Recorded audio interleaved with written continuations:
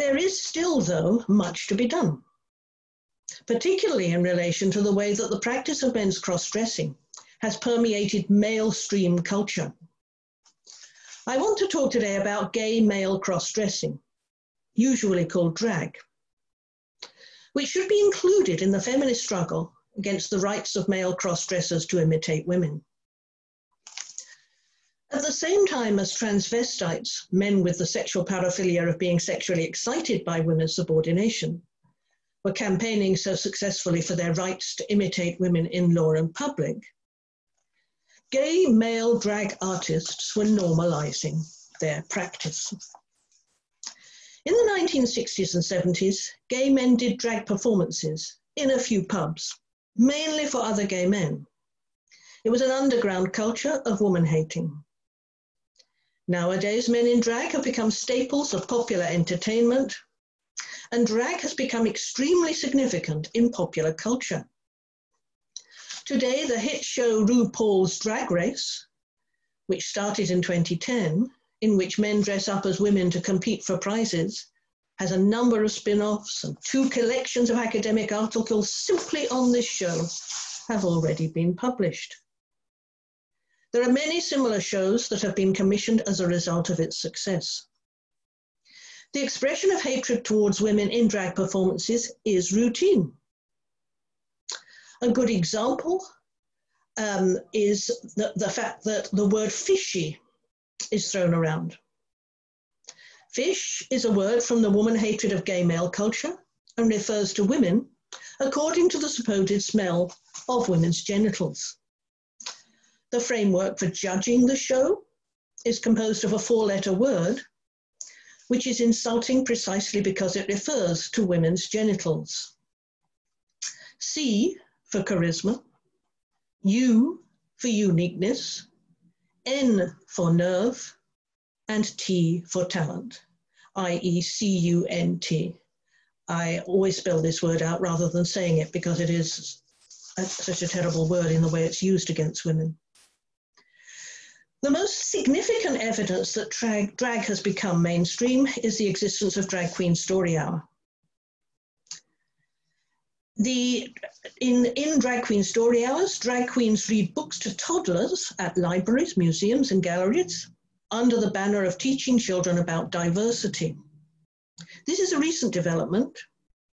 In the UK, it originated in Bristol, uh, where it was set up for Bristol Pride in 2017 and it was modelled on the Drag Queen Storytime in California. The propaganda of Drag Queen Storytime is that it teaches diversity.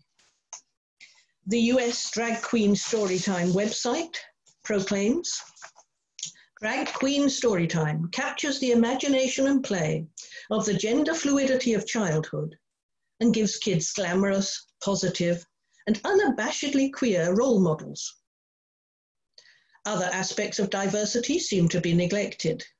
Lesbians and gay men who do not cross dress have not been invited to read to children. It would be interesting to know whether this is happening in Germany too, or whether it is confined to the Anglosphere. And in fact, Stephanie has already said to me that it's starting to happen in Berlin.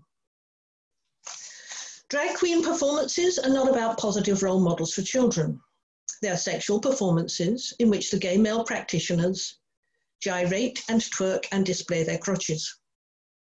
Drag queens are often involved in gay male prostitution and the acts promote their services.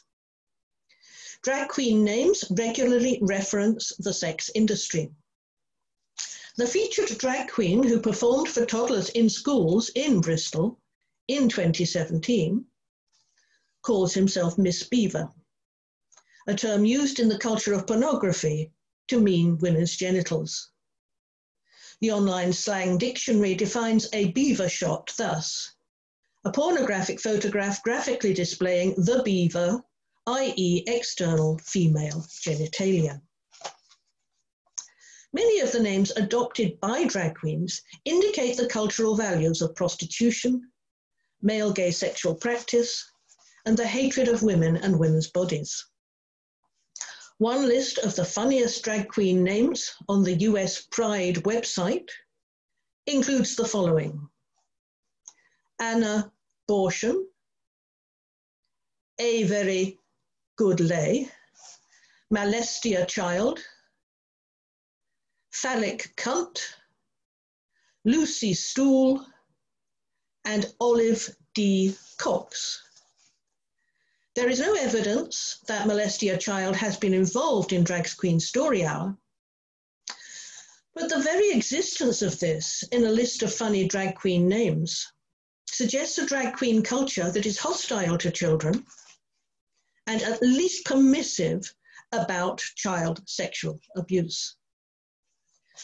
The public authorities who invite drag queens to speak to children may be unfamiliar with the origins and values of drag culture. There was considerable controversy over the decision early in 2020 to invite a drag queen, along with the lesbian Scottish National Party MP, Mhairi Black, to visit a primary school in Scotland in honour of Lesbian and Gay History Month. The local council says it had been unaware that the drag queen had sexually explicit material on his social media profiles. But his name, Flowjob, which refers to a sexual service of fellatio called a blowjob, should surely have provided a clue. Apparently, however, he was introduced simply as Flo. The head teacher said that the children were keen to hear from members of the LGBT community. On top of the list was to invite a drag queen into school to talk about her experiences growing up and her job. Concern was raised after Flowjob's social media profile was discovered subsequent to the event. Mhairi Black said those who complained were guilty of homophobia. One offshoot of the normalization of drag is the phenomenon of drag kids. Drag kids are children who are inducted into drag performances at drag queen competitions and in clubs and drag venues. The most well known is Desmond Napoles, whose drag queen name is Desmond is Amazing. The child was inducted into drag by his mother, who said she observed him being interested in watching RuPaul's Drag Race on television when he was two years old. From that point onward, she trained him to be a drag queen. By the age of eight, he was voguing throughout a gay pride parade. He was taken up by drag queens and now dances professionally at gay pride events and clubs. As a celebrity, he or his parents make money from the endorsement of products and tips at his performances. Video of him dancing in a gay bar at age 11 in 2018 and being tipped by the adult gay men in the audience caused some controversy. Gradually, more drag kids are being discovered in talent shows and exhibited in clubs and competitions and on television shows.